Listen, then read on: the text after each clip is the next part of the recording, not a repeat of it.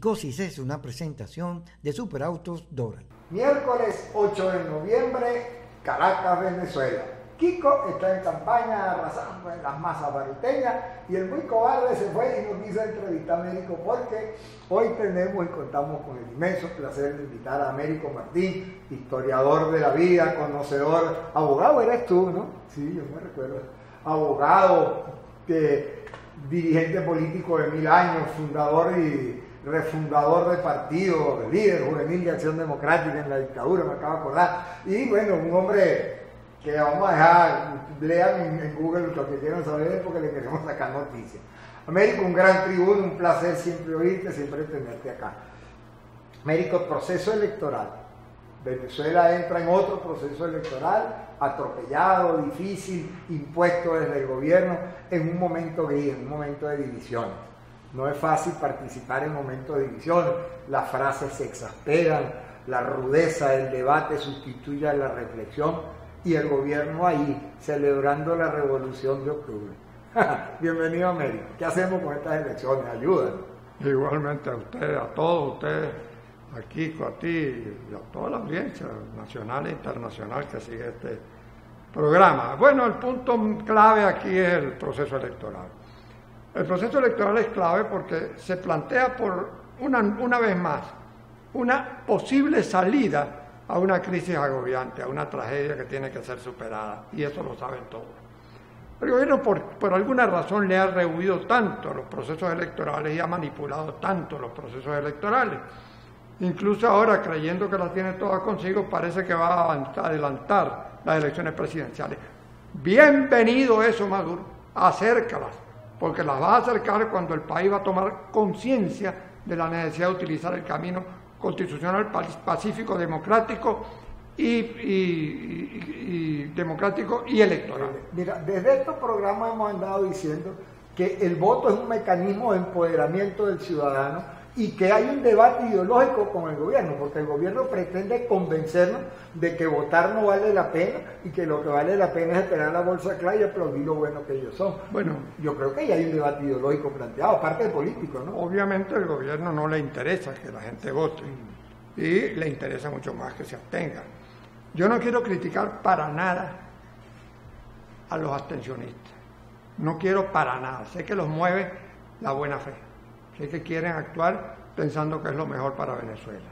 Pero la experiencia es abultada y grande, aparte del hecho mismo de que el presidente Maduro tiene un deseo recóndito profundo de fomentar la abstención. Y está apostando mal, porque está apostando a anticipar las elecciones presidenciales, donde va a recibir probablemente una felpa la cuestión ¿En cuál condición recibir una felpa? Porque Jorge Rodríguez ayer decía, va a haber tres o cuatro candidatos, o sea que Maduro para siempre. Así lo dijo en el programa de Vladimir ¿Qué otra cosa puede decir Jorge? Mm. Jorge? Jorge cree que le va a pasar una desgracia, que a lo mejor está exagerando. Él piensa que al ganar la oposición democrática va a producirse un linchamiento general. No, no, no, no. Lo que se va a producir es un proceso de democratización y reinstitucionalización del país acelerado de manera que usted, señor Maduro, ha perdido la estupenda oportunidad de ir a elecciones. Va a perder, claro que las va a perder, pero va a estar protegido por la Constitución, que es, mucho mejor que una turbamulta que lo trate de sacar, porque usted se enfrenta de nuevo a la Constitución. Hay gente que apuesta que la lucha de calle sigue siendo aún hoy el camino, pero la lucha de calle un poco en el concepto que acabas de mencionar no conectada con las necesidades de la gente, reclamando por sus reivindicaciones, sino un poco la conmoción social para salir de un presidente. Esas son siempre apuestas al caos.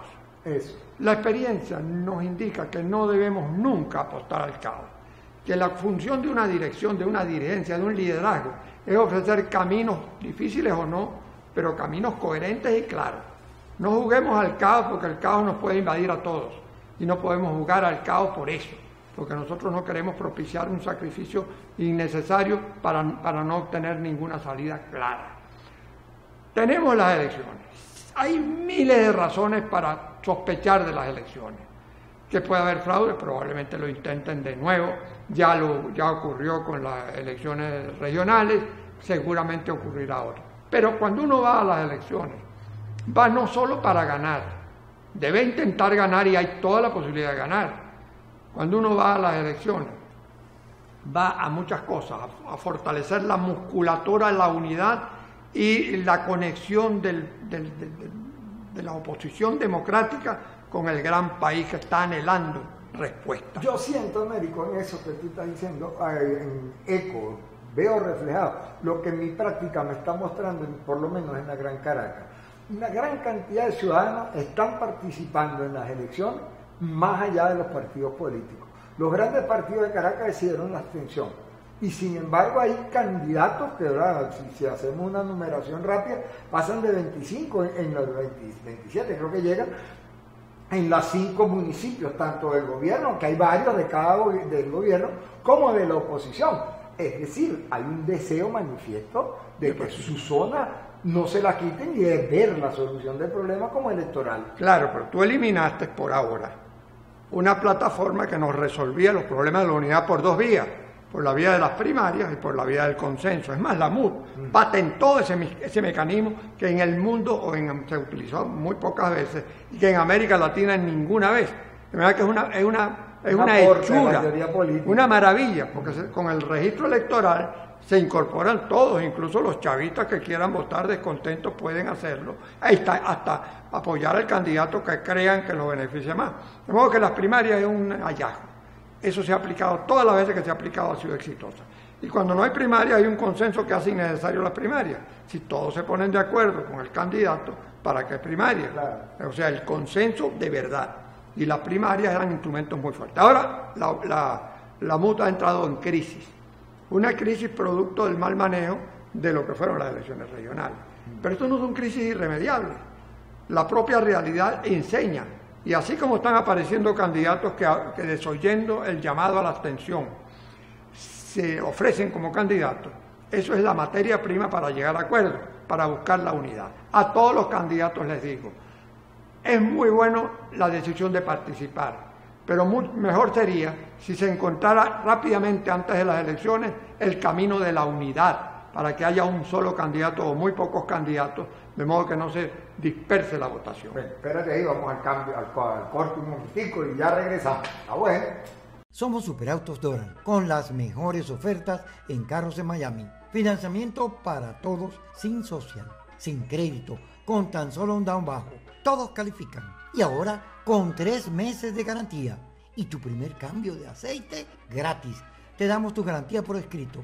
Ven, estamos en el 5600 Northwest 84 Avenue del Dora. Visítanos en superautosdoral.com 786-953-0871. Si te gusta, te lo llevas.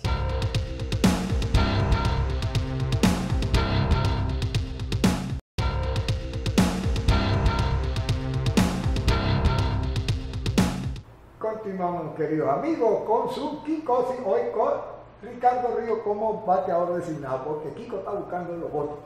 Como siempre hacemos en el segundo negro de estos programas, un cariñoso saludo para nuestra querida amiga Carla Angola y a Carlos Acosta, así como la gente del canal 81 allá en Miami de Concats, que es así como con gatos. así se escribe. bueno, continuamos a México. México despuntaba un problema bien importante en tu última intervención hay muchos candidatos, hay participación, pero hay también un problema de eficiencia del voto y de consolidación del concepto unitario. Siete candidatos o cinco, no sé cuántos que hay corriendo, por ejemplo, en el artillo, podría pasar, ya que uno no quintuplicó la otra vez al chavismo, que se nos cuele una votación estructurada, bien dirigida, disciplinada y tengamos un atillano rojo rojito. Ah, eso sería un gran riesgo.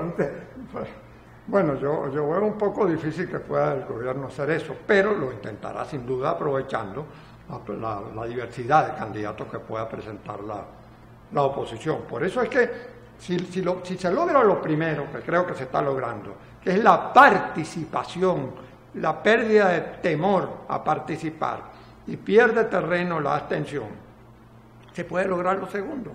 Porque una, una, la razón opera así la razón primaria es participar. La razón, la razón segunda es ganar. Y para ganar hay que lograr mecanismos de unidad. Y la, y la, oposición tiene una larguísima experiencia en esos caminos de unidad. Y si no hubiera tiempo para algunas cosas, tenemos las encuestas. Si todo un problema ah, de buena Es un mecanismo que se ha olvidado, bien bueno. Por ahí vi a Jesús, Jesús Seguía, mi gran amigo, que seguramente estará dispuesto, lo mismo que Seis, hay tantos otros buenos encuestadores, a determinar quiénes pudieran ser los que aglutinaran más. Bueno, eso es un factor muy importante en la búsqueda de la unidad. Pero quiero decir esto, en mi artículo de este fin de semana. ¿En tal cual? En tal cual, digital. Y en el nuevo Herald. Un, paréntesis. Tal cual sale digital porque el gobierno le quitó el periódico, pero igualito salió. Dele para Y ahora, ahora lo va a ver más gente. Así es. bueno, y en, y en el nuevo Herald de esta semana el artículo se llama Viva la muerte. ¿Por qué se llama así? O sea que el hombre atrás, ¿cómo se llama? Millán. Bueno, el, nombre es. ¿Cómo se llama el nombre? El nombre es Millán Astray. Millán. General Millán Astray. Pero mueran, mueran los intelectuales. Viva la muerte. Uy, qué horror. Le respondió Unamuno, una pieza oratoria maravillosa. Bueno, se llama así. ¿Por qué digo esto? Porque yo demuestro en ese artículo que eh, la tendencia a desconocer y a descalificar a quien piense distinto y la tendencia a descalificar a quien quiere ir a votar y a considerar que es por una trampa. No nació ahora, no es nueva. Eso nació con el estilo chavista. Chávez implantó ese estilo. Fue su gran éxito. Tú hablaste de, del éxito del gobierno, ese sí fue un éxito. Mm porque eh, fue cuando calificó de apátrida, utilizaba toda esa terminología que, se, popularizó en el chavismo, pero curiosamente también en la oposición. Y entre los más radicales antichavistas se compró ese lenguaje. De manera que el legado principal de Chávez es haber puesto a hablar, aparte de la oposición, de buena fe quiero decir, no estoy, y a, y a sus seguidores como él. Mm. Descalificar, eh, presumir la presumir la culpabilidad y no, y, no, la, no la, inocencia, bueno, no, eh, acallar al que piensa distinto, insultar, difamar. Bueno, eso se convirtió pues eh, en, una práctica del estilo venezolano. O sea, el estilo venezolano no era así. Venezuela tenía un estilo ejemplar, hermano, ejemplar. De buena dicción y buena Bueno, chicos, te lo digo yo, mira, yo una vez fui felicitado en Brasil siendo presidente de la Federación de Centros Universitarios de Venezuela y jefe de la delegación universitaria de, Venezuela en Brasil, en el tercer Congreso Latinoamericano de Estudiantes. Porque ese Congreso terminó a palo. Mm. Pero la, democracia cristiana, que eran los rivales nuestros, se me acercó a mí, a mí, y me dio, mira, médico, esto es un desastre, pero yo quiero ustedes. Había mucha confrontación. ¿Pero por qué? bueno, gracias le digo yo, pero, Siempre. ¿por, qué? ¿Qué, gracia hicimos? No, es que ustedes ni siquiera se dan cuenta de la gracia que hacen. Tú, Hilarión Cardoso y Alfredo Maneiro son la delegación de Venezuela, de tres tendencias distintas. Tronco y oradores los tres. Y los tres se llevan maravillosamente bien pese a sus grandes diferencias. Eso no pasa ni en Chile ni en ninguna. Es decir, era un estilo fraterno, un estilo de respeto al otro, que una, una, de las cosas terribles que ha hecho Chávez acabar con ese estilo e implantar el estilo chavista, desafortunadamente con éxito en parte de la oposición. Entonces es bien importante hacer, rescatar de lo que está diciendo, que el debate debe pasar del de nuestro a la idea. Claro, justamente por eso, que yo creo... Es una de las razones por las cuales creo que las elecciones deben aprovecharse. Así haya fraude. Porque, ¿cuáles son las opciones? Unas elecciones, posiblemente con fraude, y una abstención. La abstención no ha servido nunca para nada. Es de muy buena intención. Yo fui, yo fui abstencionista. ¿Tú fuiste abstencionista cuando, cuando, cuando León era candidato? Cuando León, y claro, cuando fue candidato el de URD, ¿cómo se llamaba? Y, el, y el razonamiento era igualito al que escucho ahora. Que eso va de, eh, que no se puede legitimar al gobierno, que nos ha reprimido, que, la abstención es un rechazo eh, digno, moral, moral que, la ética lleva, que no se puede mezclar uno con este tipo de consejos nacionales electorales, eran igualitos, con la diferencia de que quien decía eso era la izquierda y ahora lo dicen la democracia, los demócratas. Eso, pero eso, Bueno, siquiera los guerrilleros pero- tenían pero ¿qué fusil en mano, pero una Pero- tensión de chinchorro en Claro, y, no, y, y la izquierda inventó la tesis de la abstención militante. ¿Qué llamaba militante? Sabotear la elección. Sabotear las elecciones. Entonces, ahora he escuchado también a alguien, amigo mío, por cierto, no lo voy a mencionar, no estoy en plan de, de criticar a nadie, no estoy en plan de descalificar No, a nadie. armando unidad. No, hay que restablecer el, de- el debate de la dignidad y del respeto. Yo respeto a todos mis amigos, estén donde estén y piensen como piensen. Pero entonces, uno de ellos dice, abstención militante, pero él no está aquí. Viva la palabra. Palabra militante y él, sabe, y él sabe de lo que está hablando. Y, y, y dijo la palabra, se supone que él va a venir aquí a sabotear la a- a- a ver el humo surgir. No va a venir. Bueno, ya regresamos.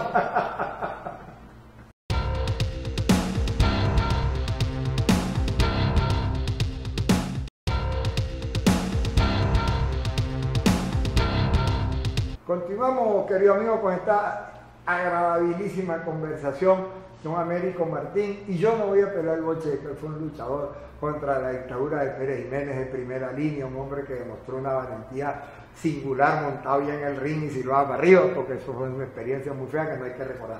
Sin embargo, digamos, no por lo menos no al protagonista.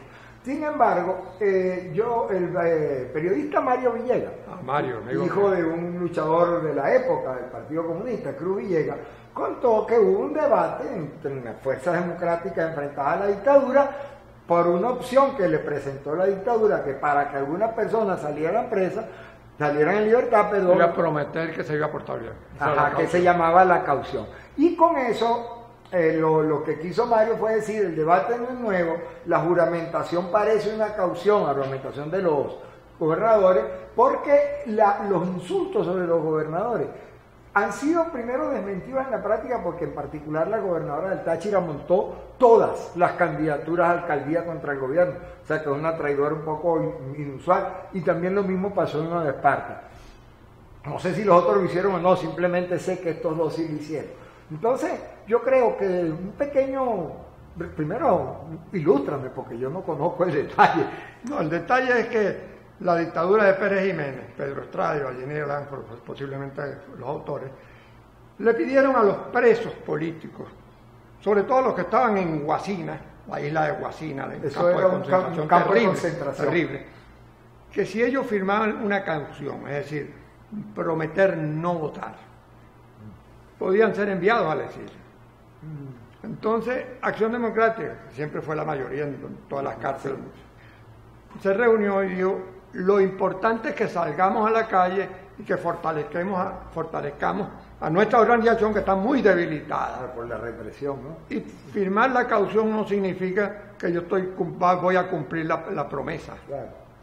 Entonces aprobaron. En cambio los comunistas aprobaron que no, que eso era un problema moral, etcétera, etcétera. Y se quedaron presos más años. se equivocaron, pero después lo reconocieron. Reconocieron que eso fue un error, que había que, que, que- que- significado podía tener Claro. prometerle a, a- a- a la dictadura y a la seguridad nacional que uno se iba a portar bien. ¿Qué Sí, pero ahí, ahí lo que yo veo como criticable que la gente por andar discutiendo tan éticamente, que no es verdad que es un debate ético, pero al poner eso así como en primer plano, pierden de perspectiva que los presos eran rehenes de una dictadura y que la dictadura los negociaba y que era una violación masiva de los derechos No humanos. obstante, te insisto, yo no critico a nadie que se abstenga ni a nadie que No, no, invoque claro. favor. No lo critico, porque no quiero crear factores de disociación que impidan la unidad plural. El pluralismo es inclusivo, pero además de ser inclusivo, no puede tolerar que en nombre de, mm, en nombre de de, de afirmaciones enfáticas, de desconocimientos enfáticos, sin oír al otro, pueda darse eso por cierto. Digamos, tal, tal señor es un traidor, ese es chavismo puro. Eso Muy era lo que hacía Chávez. muy bueno. Esos son traidores, apátridas, y, y no le permitía a nadie decir, bueno, ¿y por qué yo soy traidor? Permítanme hablar, no, no, nada. Bastaba con que él dijera eso, igual están copiándolo aquí algunos. Yo les recomiendo, les aconsejo por Dios, no sigan por ese camino. Vamos a restablecer, restablecer el lenguaje, la ética del lenguaje, la, cali- la calidad del lenguaje es gran parte del restablecimiento de la democracia que nos va a fortalecer a todos en lugar de dividirnos y sentirnos calumniados y perseguidos. a mí no me importa que me calumnie el que quiera calumniarme. Yo tengo una piel de cocodrilo y además tengo muchos años en esto, pero lo digo por los demás. Por cierto, a mí no me han condenado tanto, pero bueno. No, nada, tú eres, un factor real de dignidad. Incluso los factores que están más duros con la atención ven como una garantía. Convoquemos a Américo Martín entre los nombres del reencuentro. Mira, sabes eso, ¿no? Que incluso en, Europa hay una gente que está recogiendo firmas y el nombre que encabeza, sea porque se empieza por ahí, yo no sé. pero no, dice Américo Martín de primerito.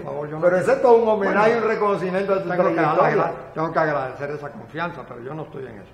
Yo quiero facilitar la unidad. No, si no te están poniendo. Bueno, otros se pondrán solos.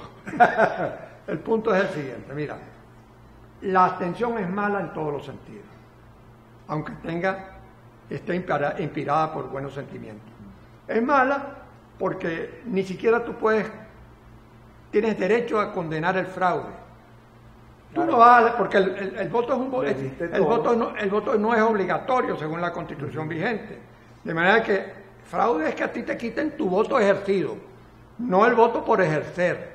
Porque si tú por la razón que quieras no quieres ejercer el voto, no vas a alegar después que es un fraude. Claro, excelente. O sea que ni siquiera tienes derecho a pedir fraude.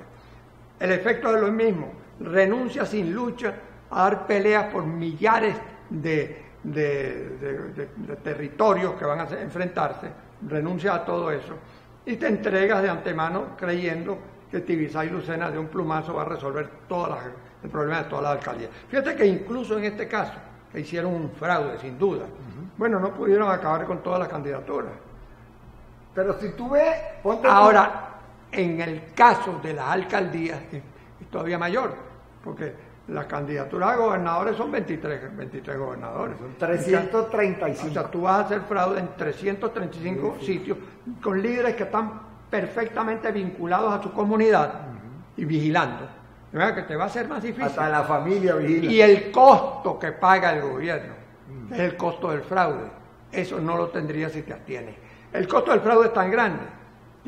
lejos de legitimarse la Asamblea Nacional Constituyente, lejos de legitimarse el CNE y lejos de legitimarse el gobierno, hoy en día están por el suelo, en el pantano, desacreditados y deslegitimados, entre otras cosas porque hicieron fraude en las elecciones. Y por imponerle a la gente humillaciones, Américo, yo estaba teniendo esa conversación con un amigo. ¿Por qué tú crees que un cobrador de viaje, a quien yo le doy parte de mi dinero para que no me mate a mi familia, de repente tiene más dignidad que yo?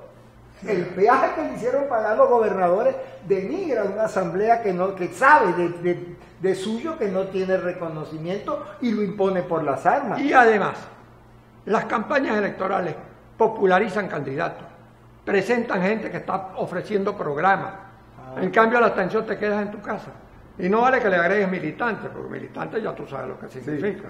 Y eso no lo van a aplicar, y ojalá no aplique, y no creo que hay cómo aplicar. Se refiere a la abstención militante. La abstención militante es la abstención saboteando. Eso sí. Esa abstención militante no va a tener éxito si es que, si es que lo intenta. nadie la promulgó. No creo que nadie lo intente. La última vez que se intentó restablecer arbitrariamente la calle, pues los vecinos no fueron. Lo lamento, porque la calle tampoco se puede despreciar. Se puede salir a la calle, pero no abusar de la calle. Porque tanto la calle como el paro son mecanismos que se desgastan. Eso es histórico. Eso es desde 1928 en Venezuela hasta hoy. No se puede permanentemente mantener la calle indefinidamente hasta que caiga el gobierno, no. Y tiene Cataluña, se está... Cataluña, imagínate todo el retroceso enorme. ¿Y en Venezuela? En Venezuela fue así, el paro, paro, paro del, del, 2004, 5. 2004, 3. 3, 3, 3, 4 fue el referéndum y, 5 la abstención. Y la calle hasta que, hasta que caiga, hasta que el cuerpo aguante es un desgaste, mucha gente valiosísima, héroes estudiantes muertos. ¿Para qué? Entonces tú tienes que aprovechar cualquier iniciativa que se haga, por muy pequeña, para abrir el compás, para abrir el abanico, para, para pelear por posiciones y para demostrar la naturaleza, la índole de un gobierno que odia las elecciones tanto como odia al país que está matando de hambre. venezolano me debe unos reales. Este es un programa maravilloso Qué excelente intervención democrática. Yo le dije que Américo es un tribuno de primera, que lo disfruten. Bueno, mañana vuelve Kiko o vuelvo yo, depende de cómo esté la campaña. Muchísimas gracias. Bueno, un Américo. saludo para Carla Angola. Claro. Un saludo para Carlos Acosta. eh, el, el otro. Carlos Acosta. Carlos Acosta, gran amigo mío, por Sí, cierto. Por cierto, y aquí. Le, le mandamos ese regalo a los amigos de Miami. Chao, pues. Kikosis es una presentación de Superautos Doral.